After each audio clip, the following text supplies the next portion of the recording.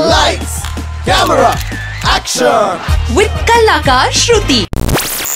Super hits ninety three point five F M वर. मी कलाकार श्रुती आणि माझ्यासोबत कोण आहे? तर जी जोडी आपल्याला ह्यापूर्वी देखील कारे दुरावा ह्या सिरियलमध्ये दिसली होती अशी. सुयश टिळक आणि सुरुची अडारकर ह्या दोघांची ही जोडी आहे.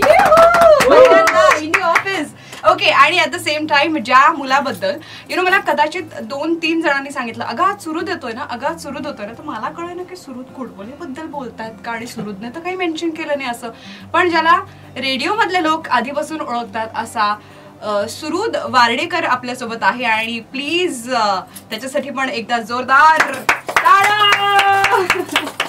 सुरुची मला सांग की सुयश सेटवर असल्यामुळे कुठल्या गोष्टींचे फायदे आणि कुठल्या गोष्टींचे तोटे तुला होतात? फायदे म्हणजे खूप छान खायला मिळतं. तो फूडी आहे बेसिकली स्वतः. त्यामुळे त्याला खायला जितकं आवडतं तितकंच त्याला खाऊ घालायला आवडतं. आणि हे मी कार्यदुरावाला डेफिनेटली अनुभवलं होतं. म्हणजे असं कोणी अरे मला भूक लागली म्हटल्यानंतर ही हॅज व्हरायटी ऑफ थिंग्स आणि जनरली सेटवर येताना तो आमरस आणायचा रोज. आणि ही brings it for everybody so generally सेटवर सगळेच खुश असतात.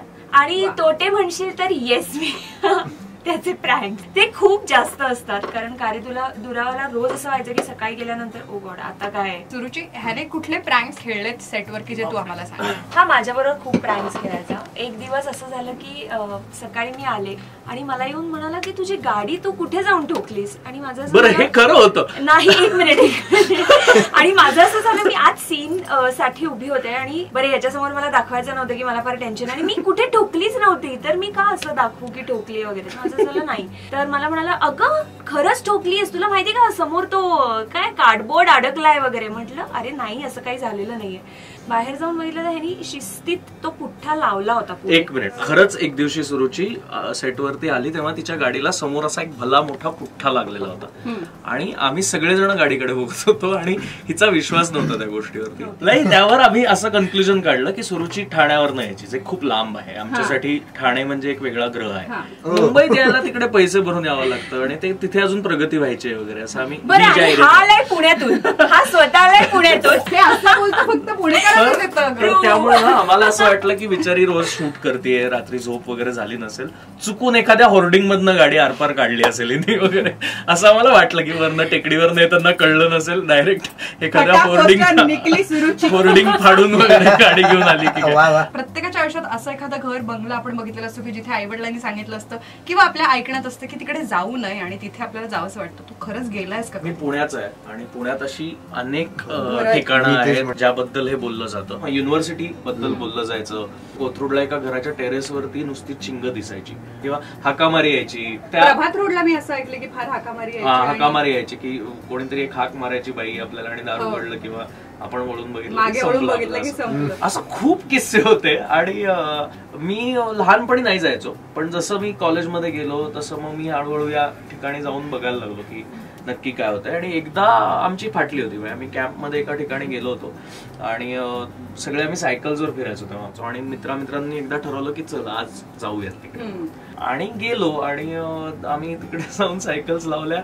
आत गेलो तर आम्हाला काहीतरी आवाज वगैरे यायला लागला. तर आम्हाला आधी वाटलं की कोणीतरी असेल कोणीतरी काहीतरी करतंय. एका पॉइंटला ना काहीतरी मोठा आवाज झाला आणि आम्ही पळत सुटलो परत बाहेर. बाहेर आलो तर आमच्या सगळ्यांच्या सायकलच्या चेन्स काढलेल्या होत्या. सायकलची हवा निघालेली होती. आणि आम्ही म्हटलं आज आहे आपली. सो आमची कंप्लीट फाटली होती. मला आठवतंय कोकणात अं, बऱ्याचदा फिरायला गेल्यानंतर असं व्हायचं की वेगळेच काहीतरी अनुभव यायचे. एखादा अनुभव. म्हणजे आम्ही आता एकीकडे गेलो होतो जेव्हा एक ठिकाण होतं जिथे आम्ही जेवणाची कुठलीही गोष्ट ठेवली. म्हणजे ताट वाढून जर घेतलं असेल आणि आपलं जेवण झाल्यानंतर काही ठेवलं उष्ट कर्कट. तर ते जेवणाचा जो आयटम आपण त्याच्यात ठेवायचो जे काही पदार्थ असतील ते पटकन गायब व्हायचे. आणि आम्ही एकदा ते प्रयत्न करून बघितलं. आम्ही खातंय? असं हा म्हणजे आम्ही ताट ठेवलं आणि आम्ही बाजूला उभे राहिलो. तर आम्ही बाजूला उभे असून सुद्धा ते गायब झालं. हे कसं गायब झालं हे मला माहिती नाही. पण असे काही काही अनुभव आले होते. बरं आता त्यावेळेला कसं होतं की तुमचं माइंड खूप तुम्हाला कंडिशन करत असतं. अशा काहीतरी स्टोरीज ऐकून गेल्यानंतर तुम्हाला ऑटोमॅटिकली असं वाटायला लागतं की खरंच तिथे काहीतरी आहे. जे आय थिंक आमच्या शो मध्ये पण बऱ्याचदा व्ही एफ हायलाइटेड इट की काही वेळेला नुसत्या गोष्टी ऐकल्यामुळे भास होतो. So I think it is all about conditioning of your mind की तुम्हाला आजूबाजूला इतकं त्या ऍटमॉस्फिअरमध्ये आणलं जातं की तुम्ही ऑटोमॅटिकली यू स्टार्ट बिलिव्हिंग की काहीतरी आहे. सुरुत मला तू सांग की रेडिओ जॉकी म्हणून चार भिंतींच्या मधली दुनिया आणि त्यानंतर यु नो शंभर लोकांसमोर एक डायलॉग म्हणायचा डेफिनेटली अ चॅलेंज सो कसा होतो तुझा पहिला दिवस फॉर द शूट एक फायदा होतो आपल्याला बिंग अन आरजे आपल्याला माहिती आहे डिलिव्हरी कशी करायची असते डायलॉग डिलिव्हरी आपल्याकडे स्क्रिप्ट नसते किंवा आपण कधीच कुठे पॉइंटर्स लिहून ठेवत नाही की. मला आज या शो मध्ये अमुक वाजता इतकं हे असं बोलायचं तसं बोलायचं एक्झॅक्टली सो जेव्हा एकदा डायलॉग्स आपण वाचतो तेव्हा फक्त एकदा आयडिया येऊन जाते. मग देन यू ट्राय टू तू कलोकियल करायचा प्रयत्न करते स्वतःच्या भाषेत. बोलायचा प्रयत्न करते So मग that is exactly what you do and radio jockey म्हणजे एक चार भिंतीत बसून माईकवर एकटाच असा बोलत बसतो वेड्यासारखा. ही जी प्रतिमा आहे. पण ऍक्च्युली त्या माणसात खूप जास्त कॉन्फिडन्स असतो. तो कुठेही एकटा माईकवर बोलू शकतो स्टुडिओमध्ये किंवा तो चाळीस हजार लोकांसमोर स्टेजवर उभा राहून सुद्धा तो होस्ट करू शकतो. But do you miss radio a lot a lot a lot so कारण पहिलं प्रेम आहे ग आणि काय जिथून सुरुवात केली आणि ते ते सुद्धा पुण्यासारख्या शहरात. I was very young I was twenty one when I started आणि पुण्यातून सुरुवात केल्यामुळे ते असं झालं की मला पुणं पण मिस करतोय मला रेडिओ पण पाहिजे माझं असं असं एक वेगळंच काहीतरी होत आहे सध्या blanks round. सुरुत मला या गोष्टीचा जाम कंटाळा येतो. कामाचा. सुरुची माझ्या पर्समध्ये ह्या तीन गोष्टी सतत असतात. सॅनिटायझर फोन आणि चार्जर सुयश मला ह्या गोष्टीला नाही म्हणायचंय. बापरे. गुड वन गुड वन माझं लग्न झालेलं नाहीये.